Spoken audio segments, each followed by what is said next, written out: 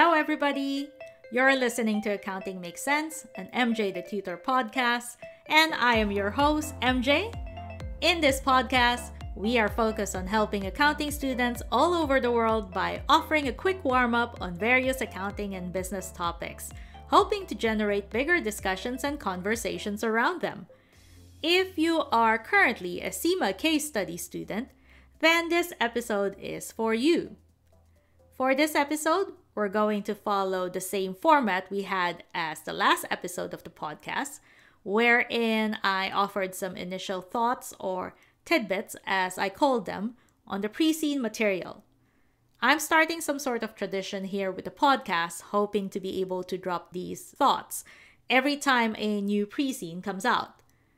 So, since we did the management case study last time, this time we're going to be doing the strategic case study pre seen, the SCS, for May 2022.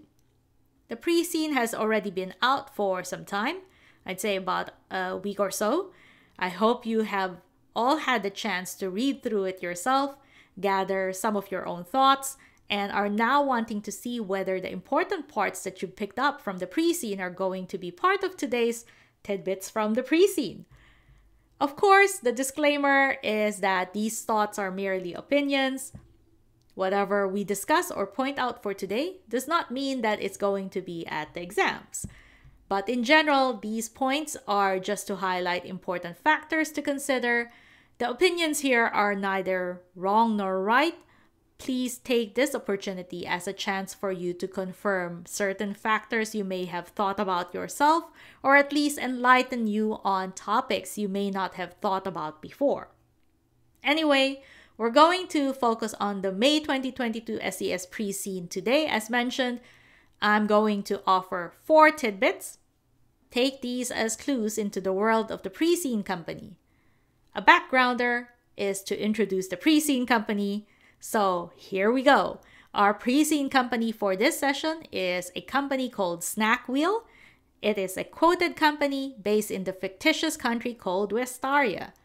This company facilitates home deliveries on behalf of fast food companies across Westaria. Sounds familiar?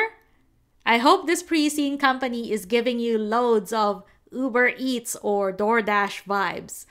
There are, of course, a lot of other companies as well that is in the same space, but in general, these are apps or websites that allow customers to place orders of fast food, and then the app website acts as the gateway that matches the order with the delivery driver. Anyway, let's start with the tidbits. I'd forewarn that the first two tidbits center around things that are vital to the snack wheel business strategy. The two that I'm talking about uh, are people and systems, in case you have not sensed it yet. These are the backbone of Snack Wheel. The first tidbit to share is the importance of stakeholders in this business, specifically the employees that are employed as couriers and independent contractors that also act as such.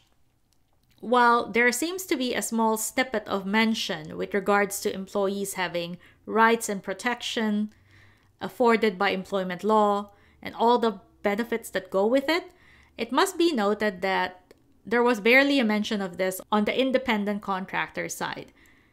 They do mention that it's different, but that's about it.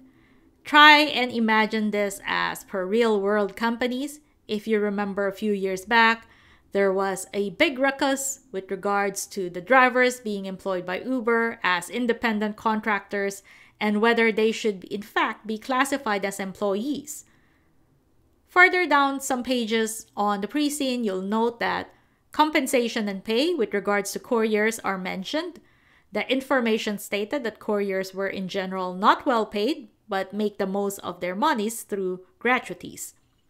When we look at the amount of time that is used to become a courier, it is sometimes a hit or miss. Think about it. If you are lucky enough to be on shift when it is busy, then you earn a lot, mostly because of the trips that you make and the gratuities that you get. But if you are unlucky to be assigned a shift where no one seems to be ordering, then the whole exercise seems unproductive. not to mention unprofitable for couriers. So I believe that this topic of motivating by money and other financial benefits versus getting the most performance out of the couriers will be a challenging one. Snackwill doesn't really seem to be too empathetic towards its employees. All it says is that their mission is that they provide employment, which could easily also be seen as Snackwill gives the job opportunities and there are many people looking for work, so you take it or leave it. Yes, again, this is not what it directly says, but really very heavily implied in those pages. The next tidbit to share is the IT system. Now, the platform runs on technology, software, and hardware. The information is exchanged and stored within this platform. We could basically touch on topics like cybersecurity, threats, privacy, and information security, etc. The failure of the platform is crucial, that it has several repercussions if it does happen. Think about it when the whole thing goes down, and Snack will relies on this heavily be it for the couriers or the orders being placed with the restaurants or the interaction with the customers and everything else, actually. The IT system factor highlights two mini tidbits. One is the maintenance and upkeep of such a system to ensure that it never goes down or that it's always up all the time. And it might be a little unrealistic to just go and think that it will never, ever, ever go down but there is also the flip side of it to say that, well, if it does go down, there is a fail-safe plan that Snackwill has put into place of what needs to be done to ensure it doesn't shut everything down, that you still have some sort of backup running. There is extensive information about who owns the software being used, who develops it, uh, who maintains the software, who maintains the hardware, who where the data is stored, how the data is stored, what kind of information is currently being held, etc. Many, many pages concerning this. IT is really an important part of this pre-seen company. The second mini tidbit is the mitigation of cyber risk and threats. Sure, it's always best to prevent bad things from happening, but what if it does happen is the question that we need to ask. I like that there is a CIO involved in all of this, which has been seriously lacking in most recent pre seens. If you don't know what a CIO does, well, then a CIO is a company executive responsible for the management, implementation, and usability of information data, as well as computer and technologies. Technology is becoming a heavily tested topic on the case study, and we know that this is true in real life as well. Technology advancements have been disrupting many industries, and the existence of a CIO on the pre seen highlights how important technology is for Snackwill.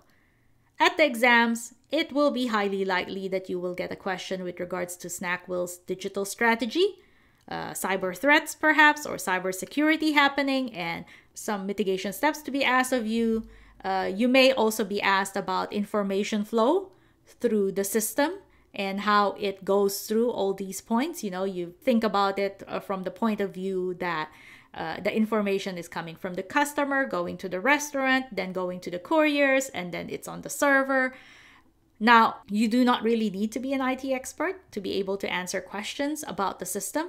You will need to understand how the data flows though for it the with the pre-seen material that's been provided and of course there's lots of information there as mentioned You'll have to see how data is handled, how it is safeguarded within the company, so you can answer questions about control, access, and transparency if need be. The last tidbit to share is understanding the pressures on the industry and trends. This is a highly digital and constantly changing industry. Something briefly mentioned is that when Snackwill was first established, it disrupted the home delivery industry. Disruption is the key word here, used when a company shakes everything up the way that it has always been done before.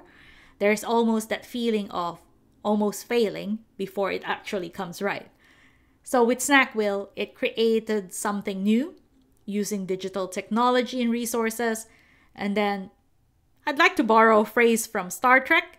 By using digital technology and resources, Snackville was able to go where no one has gone before. I do feel that this whole feeling of disruption will continue on at the exams. There'll be questions likely regarding some disruptor or other, and we may need to determine whether this is the right direction or fit for Snackville or not. And that's it for this episode. I hope you were able to glean the same tidbits from the pre seen as I did, maybe even more. Keep on reading that pre seen to gain a better understanding of the scenario. As always, I thank you for listening to Accounting Makes Cents. I'm your host, MJ the Tutor. If you're keen to connect to be updated with the arrival of the next episode of this podcast or find CIMA resources online, please head on over to my website www.mjthetutor.com. You can also hit subscribe on whichever platform you are using to listen to this podcast. If you want to connect on social media, I'm on Facebook, Twitter, and Instagram under the name MJ the Tutor. So I hope to see you again next time. Ciao for now!